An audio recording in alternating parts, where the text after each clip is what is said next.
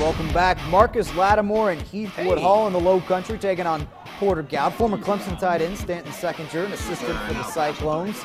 We pick it up on Porter Gaud's first drive. Eric Jackson gets the handoff, weaving it better than a sweetgrass basket maker right there. He is going all the way to the 17 yard line. Hey, by the way, breaking news, guys, there's a T Rex in West Ashley. Really? Watch out! Really? Watch out! All right, by the way, Oliver Michaud, the Cyclones quarterback, doesn't have T Rex arms. He can toss that rock pretty well. Check him out, rolling left, keeping the play alive, and then tossing it to Dante Smith for a easy score as Porter Gaud gets an easy win, 35 to 7 over Heathwood Hall. You know what? Marcus Lattimore cannot win here. I'm starting to realize that. Man, you know I what? He won with him. Carolina, though. He had some great years there, and you just got to trust the guy. He's a good guy, so we're rooting for him, except when they're in the low country taking on our teams. Yeah. Well, anyway, speaking of our teams, Mm-hmm. Ashley Ridge, Summerville. Summerville used to have the respect. They're trying to get that back now, Evan. Yeah, and they're doing it with a sophomore quarterback, Jonathan Bennett. Head coach Joe Call says Bennett, one of the best he's ever worked with. Some really high praise from Call. Uh, his Green Wave team trying to improve to 2 0 in region, hosting the crosstown rival, Ashley Ridge. Summerville's opening drive near midfield. JB Rain, two gloves. Pouring, Jonathan Bennett scoring 6 0. How about that touchdown? He is fired up and he's got the Green Wave fired Ah. up. The extra point, no good though, and back comes the Ridge. This might be the play of the game. Russell Montgomery with the screen pass to Hakeem Ellington. Cuts back inside. Hakeem, the dream. Oh dream. my He just did that to you. Wow. That just happened. Ridge takes a 7 to 6 lead. Whew. That took a lot out of me right there. I'm not even I'm from right here. I need a That's water break, guys. All right, same score. Back comes the Ridge.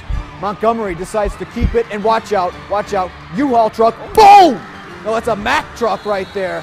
That was crazy. I can't get over these highlights. Ashley Ridge put that 14-6 lead, and then boom, that's Cyrus Clark giving them those 14 points. I gotta catch my Wow, breath that after was- that, that one. was- that was Look at that score. I mean, who won the game? Just ah, take it out. 24-21. Ashley Ridge knocks off Summerville. I can't believe it. All right, slow down before you get a heart attack. Oceanside Academy and St. John's, two teams under 500. Islanders come out on top. Cameron Smiley rolls right, finds his wide receiver who's just short of the goal line, sets it up for Lorenz Givens from the one yard. And guess what? His points pouring in John's Island. We keep it with the family. TJ Givens not going down on this next play.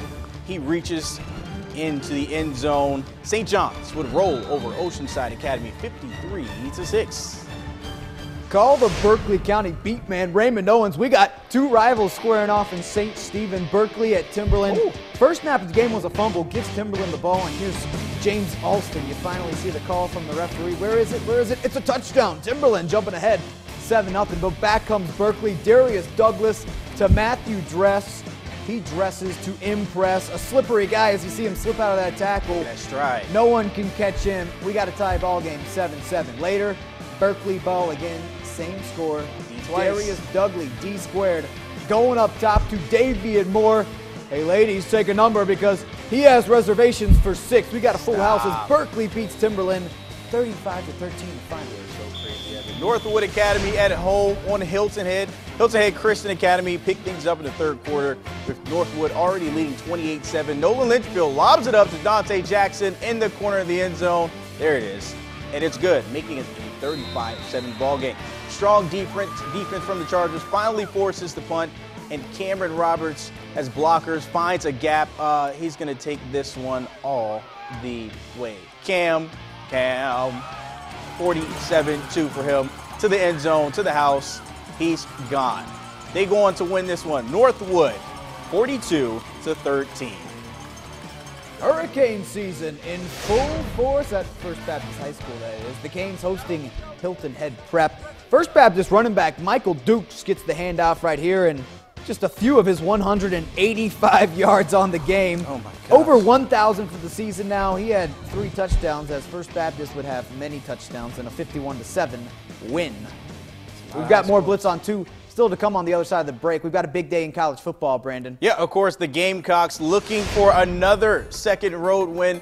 They're looking, SEC road win, looking about that more coming up next.